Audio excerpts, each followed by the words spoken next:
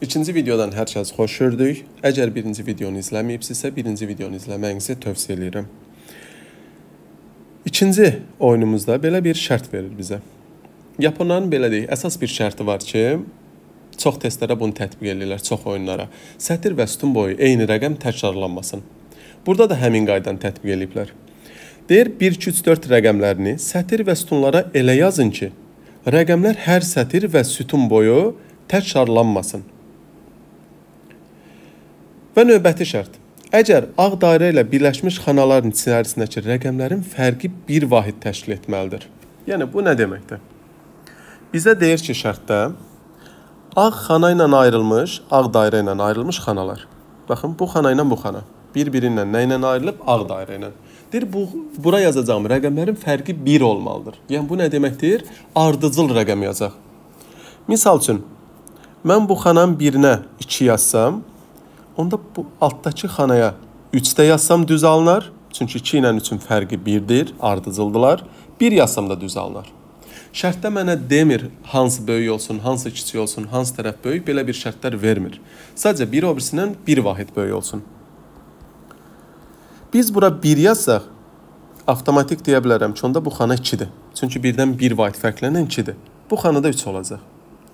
Onda solundakı da avtomatik 2 olacaq. Bəs bunun altındakı 1 də ola bilər, 3 də ola bilər. Yəni ağ dairə mahiyyətini başa düşdük.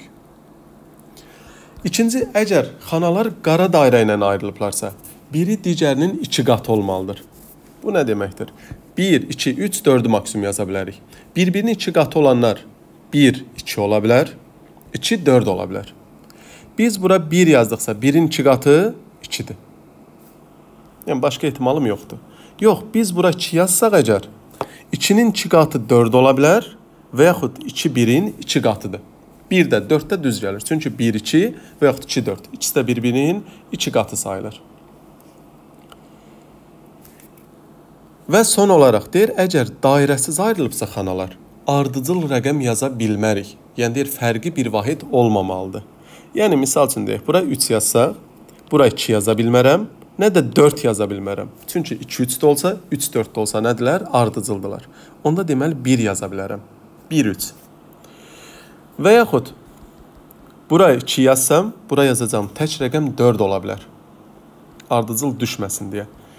1 yazsam amma bura 2-dən başqa 3 və 4-ü yaza bilərəm. Çünki 1 3 və 1 4 ardıcıl deyillər. Bəs yaxşı, bu testə hardan başlamalıyıq? İpucu haralardır?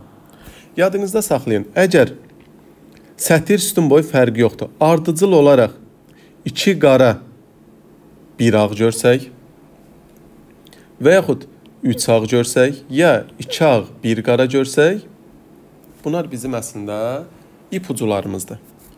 Bu testə baxsaq, belə də 2 ağ 1 qara görə bilərik, 2 qara 1 ağ görə bilərik. Deməli, belə də baxsaq görə bilərik. Deməli, buralardan rahat başlaya bilərəm. Onda gəlin tətbiq eləyək. Deyək, e, bura 4 yazıram. Birinci özüm səhv olan yazacağam. Səhv yazanda gördüyünüz alınmadı, tərsin yazanda avtomatik alınacaq. Baxın 4 yazıram. 4 nəyin 2 qatıdır? 2-nin. 2 nə ilə 2 qatdır? 1 ilə. Aha, onda 1, 2, 4 yazdım. Sətir boyu 3 satışmır. Amma bizim şərtə zidd oldu. Baxın niyə? Çünki deyir də ağ dairə ilə ayrılmış xanaların fərqi 1 vahid olmalıdır. Yəni ardıcıl rəqəm düşməlidirlər. 3 ilə 1 ardıcıl olmadığına görə deməli pozuldu qayda. Onda tərsinə yazaq. 1 ondan 2 qat böyük 2, 2 qat böyük 4. 3 qaldı burada. Doğrudan da baxın, ağ dairə ilə ayrılan fərqi 1 oldu. Davam eləsək, 4-dən 1 vahid fərqlənən 3, 3-dən 1 vahid fərqlənən 2 və yerdə 1 qaldı. Doğrudan da 1 ilə 2 2 qatdır bir-birinə. Davam eləyirəm. Bax, burada qaçıb 4 yazmayın. Niyə yazmırıq? 3 ilə ardıcıl olan 2 də ola bilər, 4 də ola bilər. Ona görə dəqiq bilmirəmsə saxlayıram. Gəlirəm bu xanaya baxıram, üst xanamıza. Əgər dairə yox idisə ardıcıl olmamalıdır. Yəni 2 yaza bilmərəm həmin sətirdə 3 var deyə 3 də yaza bilmərəm. O zaman bu xanaya yaza biləcəyim tək rəqəm 4 qalır. 4-dən 1 vahid fərqlənən 3, 3-dən 1 vahid fərqlənən 2. İndi 2-dən sola doğru baxsam, 2-dən 1 vahid fərqlənən bu sətirdə 1 var deyə 1 yaza bilmirəm, 3 yazıram və 4 yazıram. Davam eləsək, artıq tapa bilərik. 3-dən 1 vahid fərqlənən burada 2 var deyə 2 yaza bilmərəm. Onda 4 yazıram və 1 yazıram. Və salam 3 ə, üzr istəyirəm. 2 qaldı bura. Burada 1 qaldı. Doğrudan da baxsaq, baxın arasında dairə yoxdur. Ardıcıl düşmədilər. Dairə yoxdur, ardıcıl düşmədilər. Qara dairələr bir-birinin 2 qatıdır. Hardan baxsaq, qara dairə bir-birinin 2 qatıdır. Gəlin buna bir dənə də nümunə izah eləyək. Çünki digərlərinə baxanda bir etap çətin testdir. Testə baxaq. Görüm nə axtarıram. Demişdik 2 ağ, 1 qara, 2 qara, 1 ağ və yaxud da ki 3 ağ olanda oradan başlaya bilərik. Bu testdə 3 ağ görürəm son sətirdə. O zaman 1, 2, 3, 4 yaza bilərəm. İndi yoxlayıram 4 ilə 1 vahid fərqlənən 3. Aha, 3 nəyinsə 2 qatı deyil. Deməli, tərsinə yazsam düz gələcək.